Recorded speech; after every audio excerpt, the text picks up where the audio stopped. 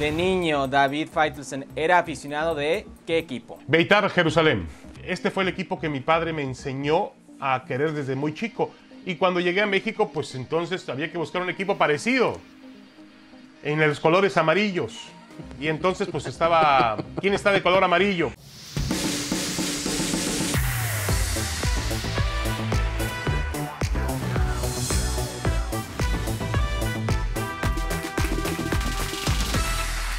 Ahora nunca, ahora en casa. Y como pueden ver, Hércules Gómez, Mauricio Pedrosa con ustedes, platicamos largo y tendido. Hércules, una.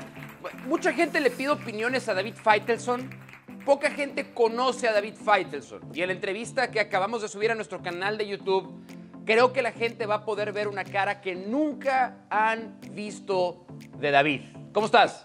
Muy bien, gracias, ma. ¿Cómo estás? Me quiero imaginar que este equipo de azul crema que le iba de juvenil. Azul y de amarillo, chavo- no dijo azul crema. Ah, azul perdón, amarillo. perdón. Ok, era el San Luis.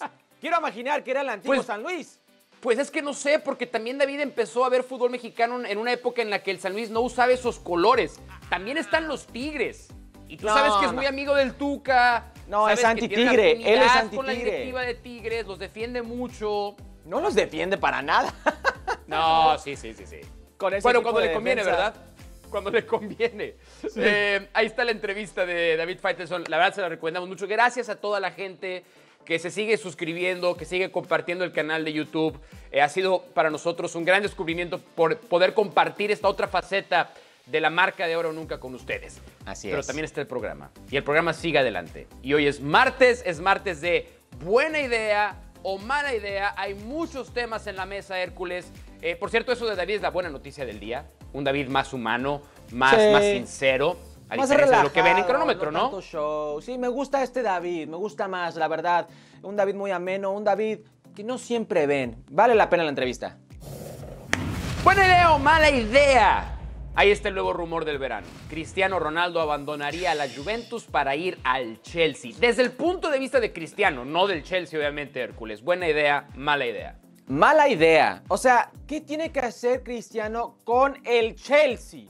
Cristiano es del Manchester United. Tiene legado en el Premier League con el Manchester ¿Está hablando el aficionado al Manchester United o el No, analista no, deportivo? no. Estoy hablando de ambos, ambos, porque a este punto, a los 35 años de edad, ¿qué más tiene que demostrar? Ahora tiene que cuidar su legado, cuidar ese legado. Y otra cosa, esto sí me molesta, a los 35 años de edad, un futbolista debe ir de más a menos. No debe Sí. mejorar su situación económica y mejorar la situación de fútbol, de nivel. Es increíble. Yo, para, para mí es también mala idea. Yo creo que la Juve es el último gran equipo europeo para Cristiano Ronaldo y después explorará otros horizontes Sí. que lo vuelvan un ícono mundial, más de lo que es, no solamente en la parte deportiva. y también Beckham. creo que es un hombre, Cristiano es un hombre que cumple retos. Y Cristiano fue a la Juve no para ganar la Serie A, no para ganar la Copa Italia, no para ser el capo cañonieri, para ganar la UEFA Champions League. Yo estoy seguro que hasta que no gane la Champions con la Juve, Cristiano va a estar satisfecho y daría un paso a otro lugar. Y lo lamento lo que voy a decir, pero es verdad, no veo a Cristiano en el Chelsea. No ¿Sabes tiene qué? sentido. Más A Juve- todos a los le millones. falta a ver, un Hércules, le ¿no falta un dimos la noticia el otro día que Cristiano ya es billonario? Sí, sí la vi. Sí el vi. dinero no es tema para él. No, no lo es. Entonces que se preocupe por su legado, que cuide ese legado. Claro, claro. Vámonos a la siguiente, buena idea o mala idea. Hablando del Chelsea, que aparentemente viene una, una resurrección del dinero del señor Roman Abramovich. Están haciendo contrataciones de futbolistas jóvenes en gran momento y uno de ellos es Timo Werner, que dejaría su actual club Red Bull para ir al Chelsea, pero eso lo dejaría probablemente sin jugar Champions. Buena idea, mala idea. Ok, buena idea. Te voy a decir por qué. Voy a poner en, los botines del futbolista. Pero si me acabas de hablar del legado. Espera, No ah, él legado no tiene legado. No tiene legado que cuidar. Escucha esto. ¿Leipzig va a ganar la Champions League?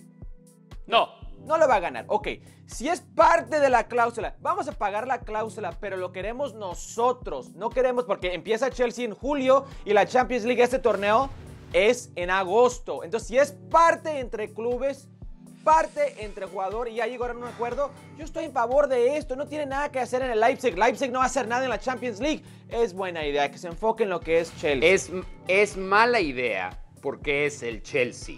nuevamente el Chelsea va a comenzar a experimentar el fenómeno de, de- de la, de la reinversión de, Abra- de Abramovich. No vamos a ponernos a discutir de dónde viene su dinero, pero tú nos acabas de presumir que se acaba de comprar una de las grandes pinturas en la The historia de la humanidad. Le, le volvió a llegar lana a Abramovich. Sí. Pero es el Chelsea. Si fuera el Liverpool, lo negó, ¿eh? Espérate, cierto, estaba te al debes a tu no equipo al actual. ¿no? Si fuera al Manchester City. Te debes Si a tu equipo actual. Si fuera el Manchester United incluso. ¿De acuerdo? ¿Al ¿Sí Chelsea? o no? Ok. Oh, man. Ah, Siguiente.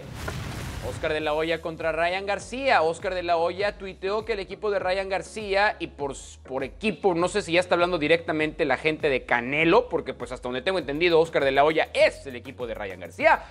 No aceptó pelear el 4 de julio. Y Ryan García también está enfrentado en este, en este eh, dime y direte con Oscar de la Hoya. ¿Buena idea o mala idea? Antes de contestar, ¿viste el tweet de Ryan García donde, espérate, tienes que ser mi promotor, no mi hater? ¿Qué está pasando Exacto. aquí? Eh, algo interesante ahí, es una mala idea para Oscar de la Hoya. O sea, está peleado con la figura, el ídolo más grande en el boxeo hoy en día, que es Canelo. Y Ah, también ok, está sí. peleado con el futuro estrella que es Ryan García. Se le está cayendo Pero, pero, Golden Boys a pero pedazos. sí lo es. ¿Sí es Sí. Ryan García realmente el futuro del boxeo?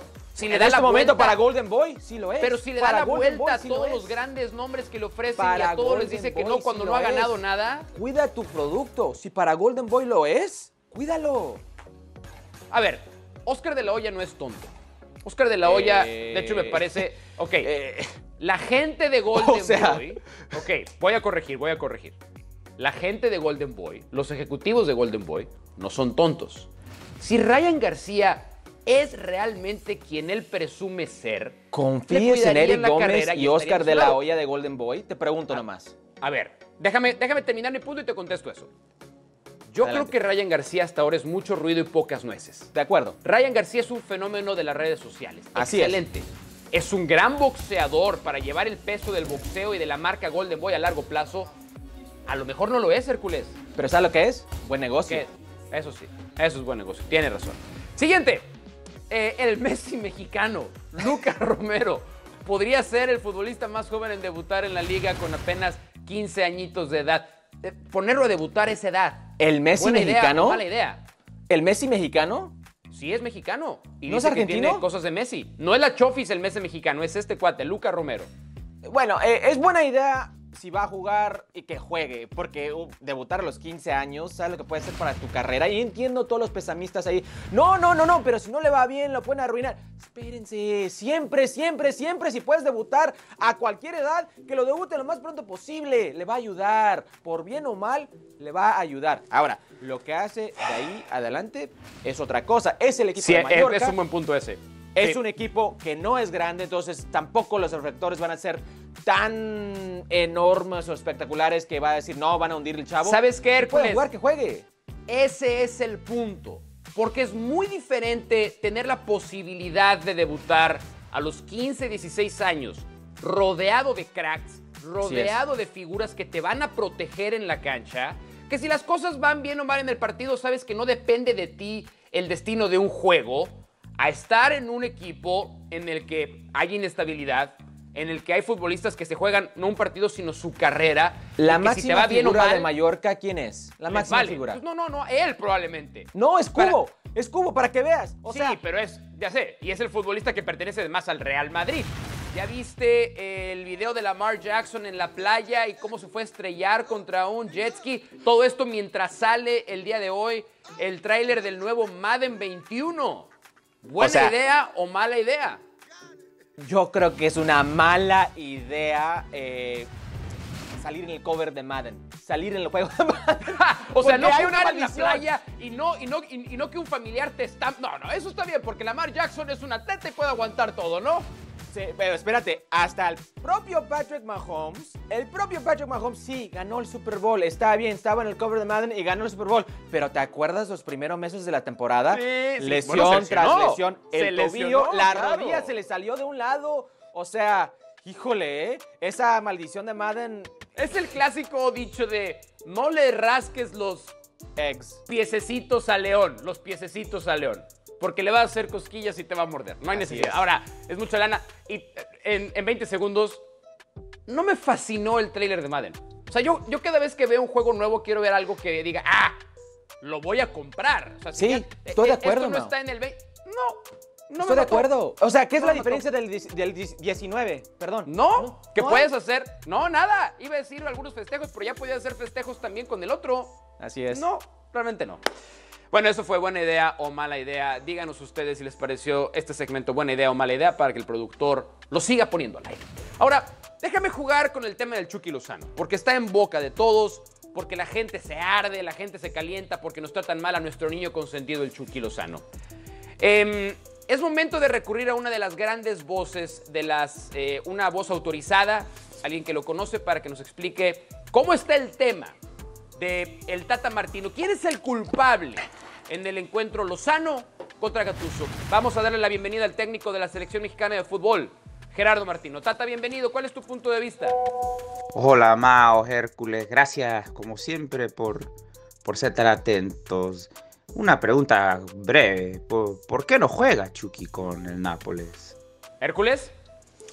O sea, eh, ¿por qué no juega? Creo que es muy fácil, es evidente. Si vemos a quién tiene enfrente él, Drace Martins, que es el máximo anotador de este club, que por cierto, Diego Maradona lo felicitó el otro día En por historia, romper sí, su récord en en la la historia. historia, claro. Eh, también vamos a ver Inzaghi, que es el capitán que juega enfrente de él, enseñe, perdón. Insigne, enfrente de él. sí. Sí, José Calle- Callejón, que también está jugando enfrente de él. Eh, hay jugadores con más trayectoria en lo que es el fútbol calcio en este momento, enfrente de lo que es Chucky Lozano. Por eso no está jugando. A ver, pero también creo que está claro que Gennaro Gattuso no lo ha sabido aprovechar. O sea, una cosa es que el, Chucky se haya hartado y, y no haya querido entrenar bien y lo haya regañado Gennaro Gattuso, lo ocurrió del entrenamiento. Aparentemente ya platicaron y ya limaron las perezas. Y yo, a ver, entiendo esta parte. Creo que hay un punto en el que no nos damos cuenta de que Gennaro Gattuso hace lo que le conviene al equipo, no lo que le conviene a la selección mexicana ni lo que le conviene al Chucky Lozano. En este momento tal vez lo que conviene es que el Chucky Lozano se vaya a otro equipo. Señor productor, dígame a dónde ir ahora entonces, por favor. Yo nunca he tenido un problema con Chucky Lozano, entonces ustedes tal vez puedan saber si, como dicen ustedes, es- quizá es mala leche de Genaro Gattuso o es, es mala actitud de Chucky. ¿Mala actitud del Chucky, Hércules? O sea, no es la primera vez que vemos problemas de actitud de Chucky Lozano. Lo tuvo en Pachuca, sus colegas en la liga le pegaban muchísimo porque era muy hablador, problemas ahí. En lo que era el fútbol de Eredivisie, los problemas con Van Bommel, los berrinches dentro de ese club donde estaba. Y ahora en lo que es el club con Nápoles y Gustavo, eh, este, perdón, este, eh, Gatuso. Sí, Creo que hay problemas serios ahí de actitud. Chucky Lozano también tiene que aceptar responsabilidad. Es un jugador fantástico, condiciones diferentes de un mexicano. Pero en la Serie A, en el calcio, es otro. Y sabes qué? También pensamos en Chucky, en este chavo, que es el, el consentido de México. Se nos olvida algo también, Hércules. Tú ponías el ejemplo de Pachuca. ¿Te acuerdas que el Chucky Lozano dos veces lo suspendieron por lo menos tres partidos por tirar patadas Sí. que ponían en riesgo la integridad física de otros jugadores? ¿Te acuerdas que eso le pasó también Claro, en Holanda, donde las cosas le salían? Es un tipo calentón. Se nos olvida que el Chucky también es un tipo cabeza caliente. Pero ya tiene 25 años, Mao. Tampoco es un niño, ¿eh? Ya debe, ya va a durar. Eh, ahora, hay otro tema que tiene que ver en, en dónde juega el Chucky Lozano. Porque yo creo que ni, ni Ancelotti y ahora mucho menos Gatuso han entendido cuál es su posición natural. Vamos con el experto para que nos ayude. Quizá la raíz de todo este problema es que Chucky no está jugando en su posición natural. ¿Por qué no juega Chucky en su posición natural en el Nápoles, chicos? ¿Por qué no juega Chucky pegado a una banda donde es donde rinde mejor, Hércules? Es muy fácil porque el fútbol calcio es diferente, no permite esos espacios como otro fútbol, como la Liga MX, que para él había mucho terreno donde jugar, y la Eredivisie en Holanda, donde es lo mismo. O sea, es un fútbol de espacio, donde él puede aprovechar esas condiciones. Un jugador muy bueno cuando puede ser vertical, no tiene mucho eh, habilidad entre espacios, no es un jugador tan creativo de esa manera. No, déjenlo correr, dale espacio y terreno y te va a aprovechar. Y en Sí. el fútbol calcio no existe eso. Ojo, Ancelotti jugaba de segundo 9. Y ahora Es- exacto, a eso, exactamente eso quería llegar. y ahora en esta situación es igual. Ancelotti que lo quería. Ancelotti que le quería dar minutos. Ancelotti que creía en él. Ni siquiera lo pon- Ahora, esa no es culpa del Chucky, ¿eh?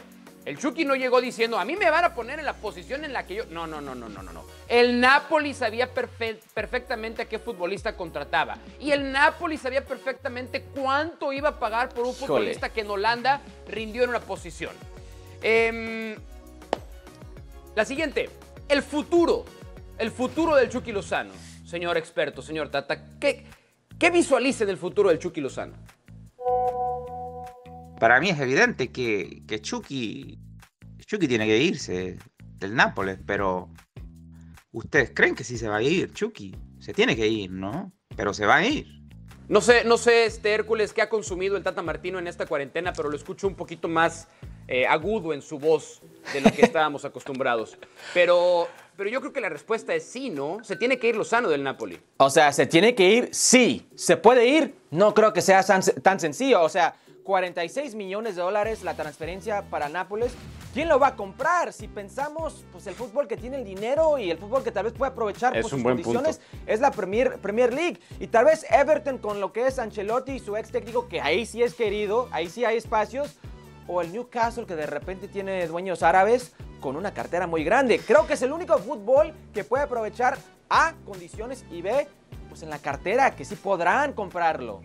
Probablemente soy el único que tiene esta posición, pero esta es una gran prueba para la carrera y la formación del Chucky Lozano. Yo quisiera verlo aguantar tantito más, pero insisto, tal vez estoy solo. Una pausa y cuando regresemos, más de los de, de la entrevista del señor David Faitelson en Ahora o Nunca, como nunca lo habían visto. Yo hice un color, un México-Honduras de esos en San Pedro Sula. El reportaje decía, noche, no sé, noche de pesar, noche de perros rabiosos. Y aparecía el perro Bermúdez. Se lo toma mal. Y en el Estadio Jalisco estábamos en un partido Chivas contra no sé quién. Entonces, entre el perro Bermúdez y el Pablotas González me rodearon. Y en eso salió el Tuca Ferretti y empezó a gritar, aquí no, aquí no, pego a la ch... Y le mandó al perro para arriba. ¿Sabes que este ejercicio periodístico Hércules de esa misma pelea tiene las dos versiones? La del perro y la de David. Denos el Pulitzer. Eso es periodismo, carajo. Eh, falta la versión del Tuca, que creo que es la que más importa aquí.